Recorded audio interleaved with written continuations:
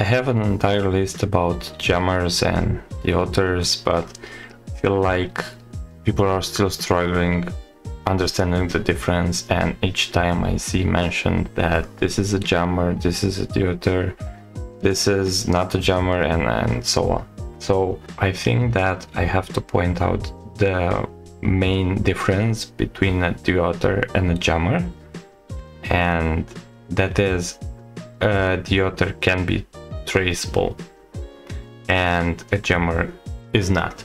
So why is this? Let's start first with the others and I will start with the first one which I built a long time ago and I think the video is still available on my page so it's basically uh, just an ESP and it's the project uh, Spacehan originally built so it's his code. So basically here I have just uh, ESP3286 I think it's. So basically it's just an ESP module and I added some uh, 18650 holders and the board from a power bank just to power the ESP so it's controlled through an GUI that you can access from your phone for example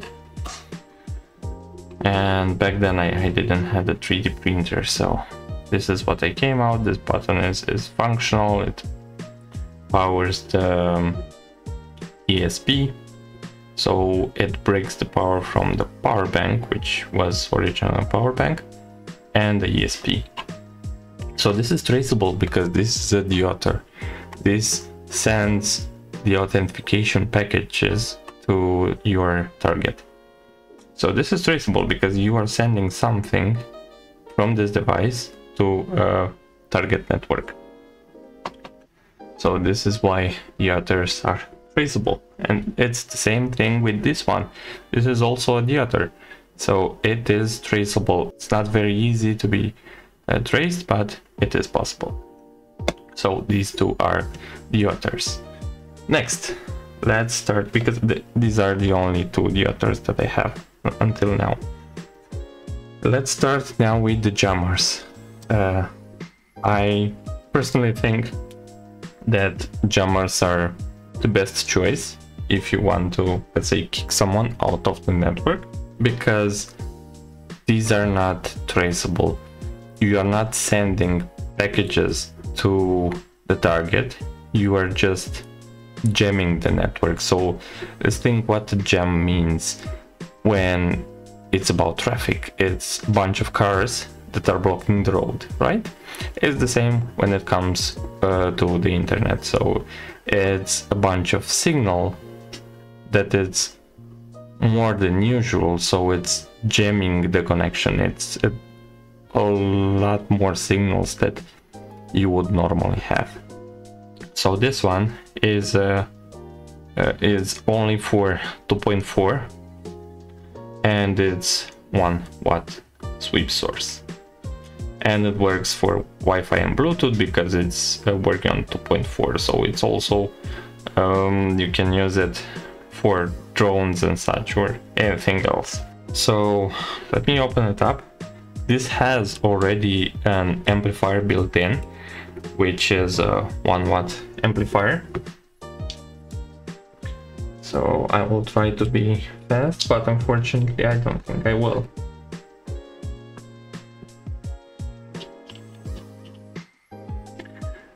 Uh, there are a lot of, let's say,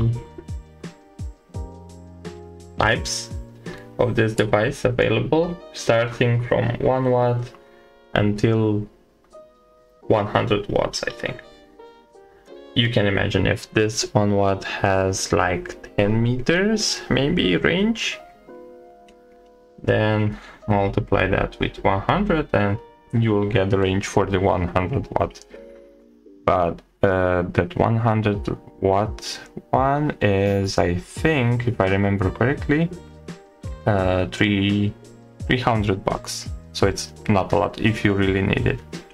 Okay so here we just have a aluminium enclosure with which is supposed to be a thermal pad. I'm not sure how it's the quality. And here we have the board. So as you can see, I'm not sure if you can see it.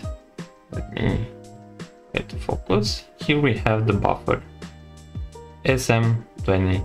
SM2400, which is not the real, real name um, if you want to buy it separately. But this is the buffer. The, the, this small thing is sending the, the signal, the jamming signal. And we also have a small amplifier. And basically that's it. It's just an aluminum enclosure handling everything, but an SMA connector here. So you can plug an antenna and you can also plug an amplifier if you have a more powerful one because this already has 1 watt inside. So this is the buffer, keep in mind this is the brain of the operation, this sends the packages away but it's not traceable because it jams everything. You can target one specific Wi-Fi, it will float everything, all the connections around you. So this is why, I mean, both of these types are illegal, both Yotters and jammers. But if we can classify them, this is more illegal because this jams everything. So you can't use it, uh, let's say, for testing on your personal network because it will jam everything. And you can say oh i will i will use it only on my network so it's safe. No you can't do that. Once started it will jam everything around you.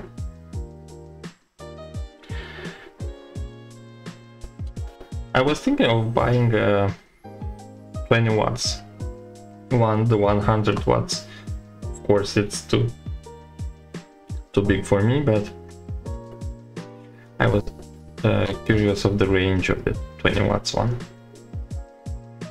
Maybe in the future, I don't know. That's just currently just for, I don't know, for fun, maybe?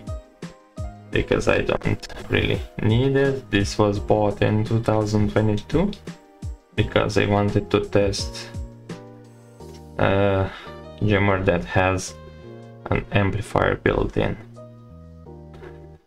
So yeah this has an amplifier and it's all that you need. You can connect an SMA antenna here. Uh, you can plug a USB-C down here. Uh, 5 volts 2 amps that's it. That's plug and play it gets kind of hot but that's why it has an aluminum enclosure okay and this is, I think, the start of the show. I, I like this one the most. And maybe it's because it was my first purchase. This was bought in 2021.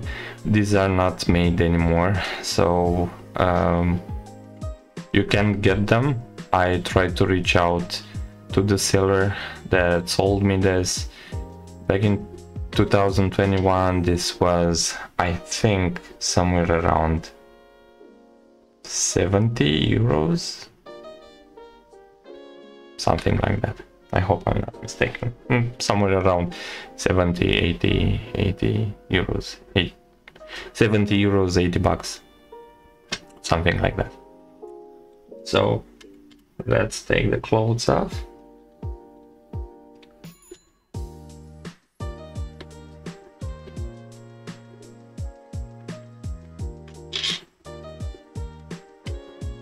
It's a shame they don't make this anymore, but I can understand why. This little guy took around three months to arrive to my door back then. And I'm not sure if it came defective or if I broke it in the first place. And I will I will show you how in just one second. but the thing is it was not working and i started to argue with the, the seller and he told me it should be working and it worked for a couple of minutes or hours or days I, I don't really remember exactly but it worked when it arrived and it broke after a few weeks imagine I, I didn't use it daily but broke and I thought that it was defective or uh, something like this. So this is the masterpiece. So the short story is that it works on three channels. So you have 2.4, 5.2 and 5.8. You have here micro USB and basically you just need to power it up and it will jump the entire network around you on all three spectrums. This 2.4 had the same uh, buffer as these ones, but I think I burned it. I'm not sure how.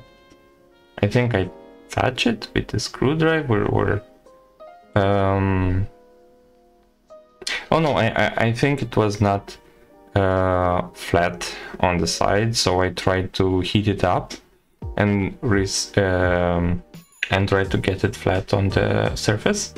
And I think I moved one little thing from here, so the entire thing broke.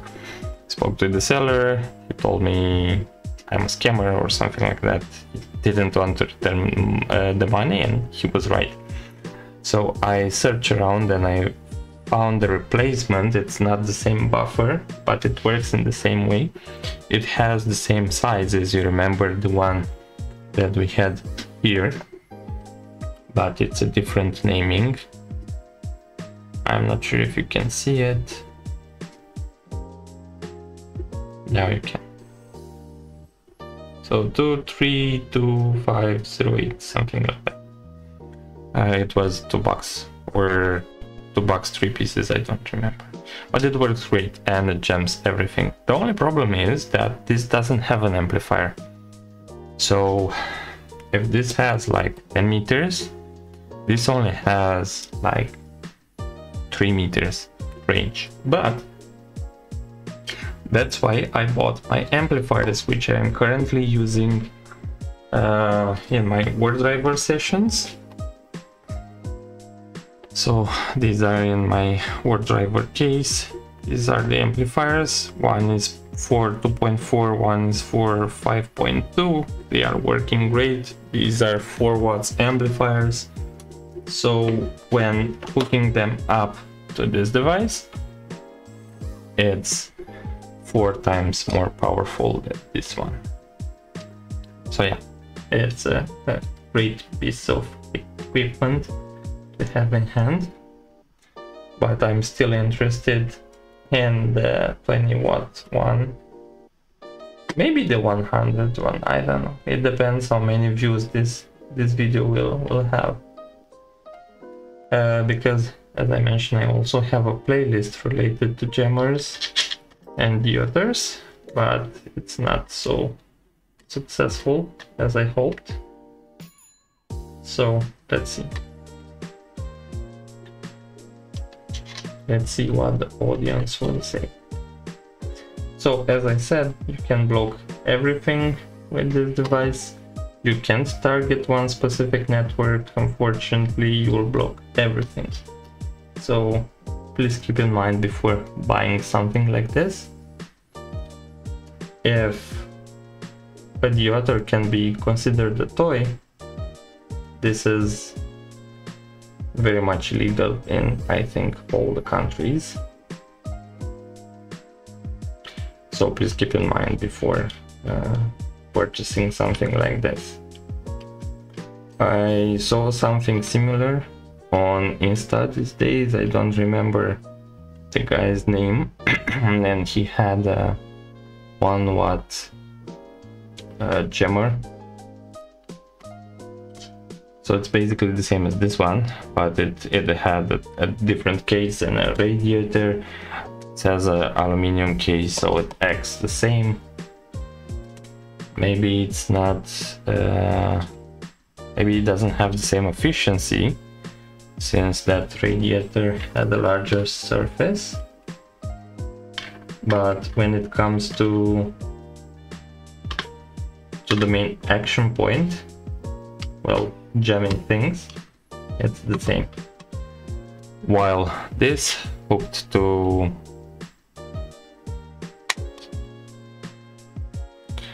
my OCD, it's not straight. Uh, this hooked to the amplifiers that I just shown.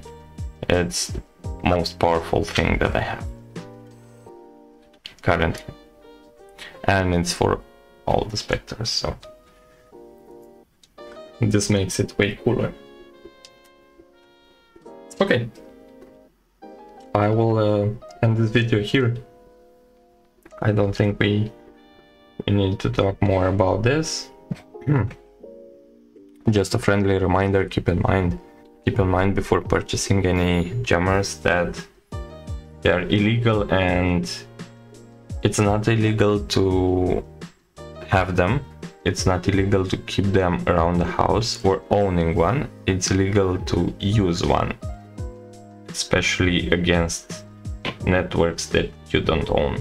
So unfortunately, having such a wide range, you can't control them.